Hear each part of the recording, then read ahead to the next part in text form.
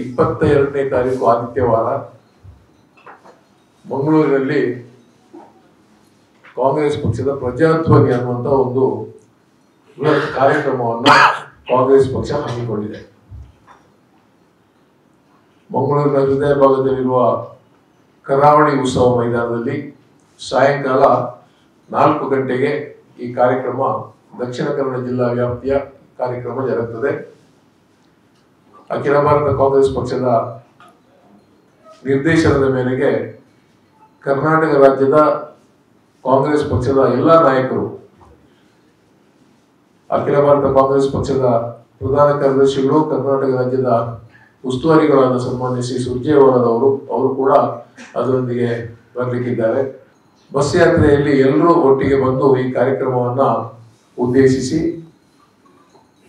ಜನರ ದಕ್ಷಿಣ ಕನ್ನಡ ಜಿಲ್ಲೆಯ ಕಾರ್ಯಕರ್ತರನ್ನು ಉದ್ದೇಶಿಸಿ ಅವರಿಗೆ ಒಂದು ಸಂದೇಶವನ್ನು ನೀಡುವಂತಹ ಕಾರ್ಯಕ್ರಮ, ಈ ಕಾರ್ಯಕ್ರಮ. ಬೆಳಗಾವಿನಲ್ಲಿ ಪ್ರಾರಂಭ ಆಗಿದೆ. ಬೆಳಗಾವಿನಲ್ಲಿ ಪ್ರಾರಂಭದ ದಿವಸ ಸರ್ಕಾರದ ಪಕ್ಷದ ವತಿಯಿಂದ ಡಿ ಕೆ ಶಿವಕುಮಾರ್ ಅವರು ಒಂದು ಘೋಷಣೆಯನ್ನ ಮಾಡಿದ್ದಾರೆ. ಗ್ಯಾರಂಟಿ ನಂಬರ್ ಒನ್ ಅನ್ನುವಂತ ಹೆಸರಿನಲ್ಲಿ ಒಂದು ಘೋಷಣೆಯನ್ನ ಮಾಡಿದ್ದಾರೆ. ಮುಂದಿನ ದಿನಗಳಲ್ಲಿ ಕಾಂಗ್ರೆಸ್ ಪಕ್ಷ ಅಧಿಕಾರಕ್ಕೆ ಬಂದಲ್ಲಿ ಇನ್ನೂರು ಯೂನಿಟ್ ವಿದ್ಯುತ್ ಅನ್ನ ಉಚಿತವಾಗಿ ಕೊಡ್ತೇವೆ. ಪ್ರತಿ ಮನೆಗೆ ಇನ್ನೂರು ಯೂನಿಟ್ ವಿದ್ಯುತ್ ಅನ್ನ ಉಚಿತವಾಗಿ ಕೊಡ್ತೇವೆ ಅನ್ನೋದು ಘೋಷಣೆಯನ್ನ ಅವರು ಗ್ಯಾರಂಟಿ ಕೊಟ್ಟಿದ್ದಾರೆ. ಮತ್ತು ನಮ್ಮ ಅಖಿಲ ಭಾರತ ಕಾಂಗ್ರೆಸ್ ಪಕ್ಷದ ಪ್ರಧಾನ ಕಾರ್ಯದರ್ಶಿಗಳಾದ ಪ್ರಿಯಾಂಕಾ ಗಾಂಧಿ ಅವರು ಮೊನ್ನೆ ಬೆಂಗಳೂರಿಗೆ ಬಂದಿದ್ರು. ಮಹಿಳಾ ಒಂದು ಕಾರ್ಯಕ್ರಮ ಆ ಕಾರ್ಯಕ್ರಮದಲ್ಲಿ ಅವರು ಒಂದು ಘೋಷಣೆಯನ್ನ ಮಾಡಿದ್ದಾರೆ. ಗ್ಯಾರಂಟಿ ಎರಡು. ಪ್ರತಿ ಮನೆಯ ಯಜಮಾನಿಗೆ ತಿಂಗಳಿಗೆ ಎರಡು ಸಾವಿರ ರೂಪಾಯಿ ಕೊಡುವಂತಹ ಒಂದು ಕಾರ್ಯಕ್ರಮ. ಈ ಎರಡು ಕಾರ್ಯಕ್ರಮಗಳನ್ನು ಪಕ್ಷದ ವತಿಯಿಂದ ಈ ಒಂದು ಪ್ರಜಾಧ್ವನಿ ಕಾರ್ಯಕ್ರಮದಲ್ಲಿ ಘೋಷಣೆ ಮಾಡಲಾಗಿದೆ. ಇವತ್ತು ಈ ಪ್ರಜಾಧ್ವನಿ ಕಾರ್ಯಕ್ರಮ ಹಮ್ಮಿಕೊಂಡಂತಹ ಉದ್ದೇಶ ಏನಂದ್ರೆ ಕರ್ನಾಟಕ ರಾಜ್ಯದಲ್ಲಿರುವಂತಹ ಸರ್ಕಾರ ಅಥವಾ ಮತ್ತು ಕೇಂದ್ರ ಸರ್ಕಾರ ಎರಡು ಡಬಲ್ ಇಂಜಿನ್ ಸರ್ಕಾರಗಳು ಸಂಪೂರ್ಣವಾಗಿ ಆಡಳಿತದಲ್ಲಿ ವೈಫಲ್ಯವನ್ನು ಕಂಡಿವೆ. ಭ್ರಷ್ಟಾಚಾರ ನಲವತ್ತು ಪರ್ಸೆಂಟ್ ಏರಿದೆ. ಬೆಲೆ ಏರಿಕೆ ಗಗನಕ್ಕೆ ಮುಟ್ಟಿದೆ. ಜನರು ಕೋವಿಡ್ನಲ್ಲಿ ಸಂಕಷ್ಟದಲ್ಲಿದ್ದಂತಹ ಸಂದರ್ಭ ಕಷ್ಟವನ್ನು ಅನುಭವಿಸಿ ವ್ಯಾಪಾರ ವ್ಯವಹಾರಗಳು ಕೂಡ ಕುಸಿದು ಜಿ ಎಸ್ ಟಿ ಏರಿಕೆಯಿಂದಾಗಿ ವ್ಯಾಪಾರಸ್ಥರು ಕೂಡ ಬಹಳಷ್ಟು ತೊಂದರೆಯನ್ನು ಅನುಭವಿಸಿದ್ದಾರೆ. ಕೂಲಿ ಕಾರ್ಮಿಕರು ಪ್ರತಿಯೊಬ್ಬರು ಬಡವರು. ಆ ಒಂದು ಆರ್ಥಿಕ ಸಂಕಷ್ಟದಲ್ಲಿ ಈ ಸರ್ಕಾರ ಯಾವುದೇ ರೀತಿಯಲ್ಲಿ ಕೂಡ ಹೆಚ್ಚಿನ ರೀತಿಯಲ್ಲಿ ಜನರ ಬೆಂಬಲಕ್ಕೆ ನಿಂತಿಲ್ಲ.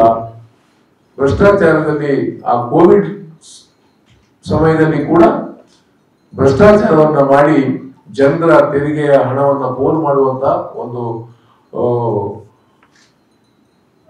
ವಿಫಲವಾದ ಸರ್ಕಾರವನ್ನ ಈ ಸರ್ಕಾರ ನಡೆಸಿದೆ. ಮುಖ್ಯಮಂತ್ರಿಯವರು ಕೂಡ ಇವತ್ತು ಜನಸ್ಪಂದನೆಯನ್ನ ಮಾಡ್ತಾ ಇಲ್ಲ. ಈ ಒಂದು ಕಾರಣಗಳಿಗಾಗಿ ಈ ಒಂದು ಪ್ರಜಾಧ್ವನಿ ಕಾರ್ಯಕ್ರಮವನ್ನು ಹಮ್ಮಿಕೊಂಡಿದ್ದೇವೆ. ಸರ್ಕಾರದ ಯೋಜನೆಗಳು ಕೂಡ ಇವತ್ತು ಜಾರಿ ಆಗ್ತಾ ಇಲ್ಲ. ಅದು ವೃದ್ಧಾಪ್ಯ ವೇತನ ಇರ್ಬೋದು ಅಂಗವಿಕಲ ವೇತನ ಇರ್ಬೋದು ಅಥವಾ ಎಲ್ಲ ವೇತನಗಳು ಕೂಡ ಇವತ್ತು ನಿಂತಿವೆ.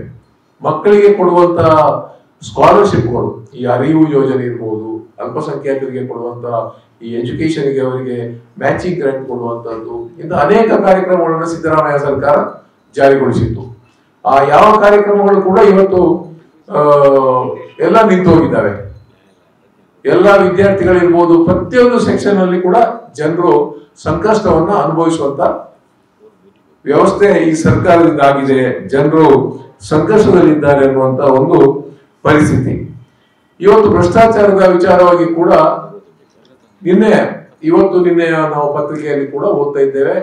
ಅವರು ಅಲ್ಲಿ ಪ್ರತಿಭಟನೆಯನ್ನ ಮಾಡ್ತಾ ಇದ್ದಾರೆ ಕಾಂಟ್ರಾಕ್ಟರ್ಸ್ ಅಸೋಸಿಯೇಷನ್ ಅವರು. ಇಪ್ಪತ್ತೈದು ಸಾವಿರ ಕೋಟಿ ರೂಪಾಯಿ ಬಿಲ್ ಬಾಕಿ ಇದೆ.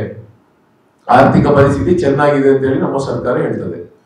ಇಪ್ಪತ್ತೈದು ಸಾವಿರ ಕೋಟಿ ರೂಪಾಯಿ ಕಾಂಟ್ರಾಕ್ಟ್ಗಳ ಬಿಲ್ಲು ಬಾಕಿ ಇದೆ ಅನ್ನುವಂಥದ್ದನ್ನ ಅವ್ರು ಹೇಳ್ತಾ ಇದ್ದಾರೆ ನಾವು ಕೆಲಸವನ್ನು ನಿಲ್ಲಿಸುವಂತ ಪರಿಸ್ಥಿತಿ ಬಂದಿದೆ. ಮುಂದುವರಿಸಲಿಕ್ಕೆ ಸಾಧ್ಯ ಇಲ್ಲ. ಈ ಒಂದು ಬಿಲ್ ಪಾವತಿ ಮಾಡಿದ್ರೆ ನಾವು ಕೆಲಸ ಮಾಡಲಿಲ್ಲ ಅಂತ ಪ್ರತಿಭಟನೆ ಕೂತಿದ್ದಾರೆ. ಇನ್ನೊಂದು ಕಡೆಯಿಂದ ಅಂಗನವಾಡಿ ಕಾರ್ಯಕರ್ತೆಯರು, ಅವರು ಕೂಡ ರಾಜ್ಯದಾದ್ಯಂತ ಎಲ್ಲ ಸೇರಿಕೊಂಡು ಬೆಂಗಳೂರಿನಲ್ಲಿ ಅವರು ಕೂಡ ಪ್ರತಿಭಟನೆಗೆ ಇಳಿದ ಇಳಿದಿದ್ದಾರೆ ಅನೇಕ ತಮ್ಮ ಬೇಡಿಕೆಗಳನ್ನ ಅವರು ಸರ್ಕಾರದ ಮುಂದೆ ಇಟ್ಟಿದ್ದಾರೆ. ಅಂತೂ ಯಾವ ವಲಯದಲ್ಲಿ ಕೂಡ ಈ ಸರ್ಕಾರ ಜನರನ್ನ ಸ್ಪಂದನೆಯನ್ನ ಮಾಡ್ತಾ ಇಲ್ಲ. ಜನರು ಈ ಸರ್ಕಾರದಿಂದ ರೋಷಿ ಹೋಗಿದ್ದಾರೆ. ನಾವು ಪ್ರತಿ ಬೂತ್ರಿಂದ ಸುಮಾರು ಹತ್ತು ಜನರಿಂದ ಇಪ್ಪತ್ತು ಜನರನ್ನ ಎಕ್ಸ್ಪೆಕ್ಟ್ ಮಾಡ್ತಿದ್ದೇವೆ. ಸಾವಿರದ ಎಂಟುನೂರ ಅರವತ್ತು ಬೂತ್ಗಳಿವೆ. ಆ ರೀತಿಯಲ್ಲಿ ನೋಡುವಾಗ ಒಂದು ಹದಿನೆಂಟು ಸಾವಿರದಲ್ಲಿ ಇಪ್ಪತ್ತು ಸಾವಿರ ಜನರು ಆಗ್ತಾರೆ. ಕೆಲವು ಕಡೆಯಿಂದ ನಾವು ಸಿಟಿಗಳಿಂದ ಹೆಚ್ಚು ಜನರನ್ನು ಎಕ್ಸ್ಪೆಕ್ಟ್ ಮಾಡ್ತಿದ್ದೇವೆ. ಒಂದು ಇಪ್ಪತ್ತೈದರಿಂದ ಮೂವತ್ತು ಸಾವಿರ ಕಾರ್ಯಕರ್ತರು ನಮ್ಮ ಆಕ್ಟಿವ್ ಸಕ್ರಿಯ ಕಾರ್ಯಕರ್ತರನ್ನ ಕರೆತರುವಂಥ ವ್ಯವಸ್ಥೆ ನಾವು ಆಲೋಚನೆ ಮಾಡ್ತಿದ್ದೇವೆ.